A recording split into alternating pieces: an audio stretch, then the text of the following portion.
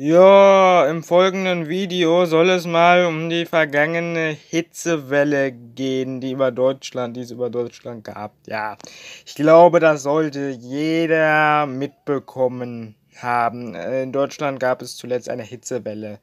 Es wurden teilweise Temperaturen gemessen, die die 40 Grad bereits überschritten haben. Der Höchstwert war in Lingen 42,6 Grad. Okay, da muss man dazu sagen, der Wert, das war alles wohl nicht so ganz unumstritten, aber allein, dass man wirklich in, an vielen Orten Deutschlands über 40 Grad gemessen hat, das finde ich schon heftig. Und ja, jetzt stellt sich für mich natürlich so ein bisschen die Frage, wie weit ist der Klimawandel schon fortgeschritten? Inwiefern kann man das noch aufhalten? Die, ähm, ja, einfach weil dadurch natürlich ähm, gibt es oftmals ein Tovawom auch mit CO2-Steuer und allem und Klimawandel. Das ist ja ein sehr, sehr turbulentes ähm, Thema und auch ein Thema, was von den Medien ja immer wieder aufgegriffen wird. Aber wenn über 40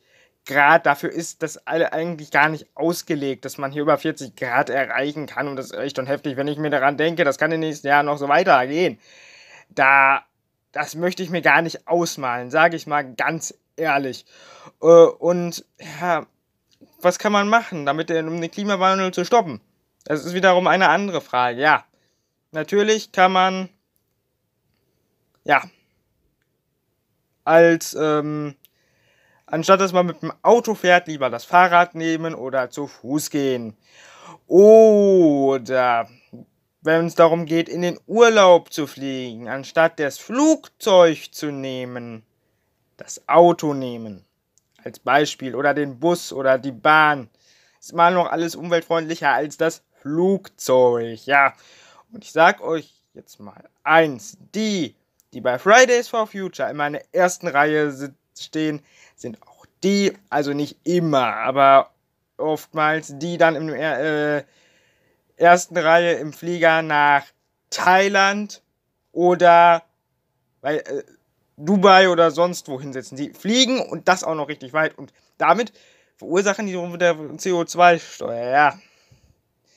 Also CO2 und daraus die CO2-Steuer, ja.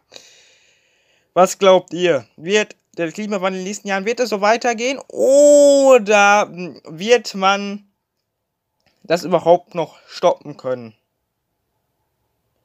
Was ist eure Meinung zu dem Thema? Schreibt es mal gerne in die Kommentare.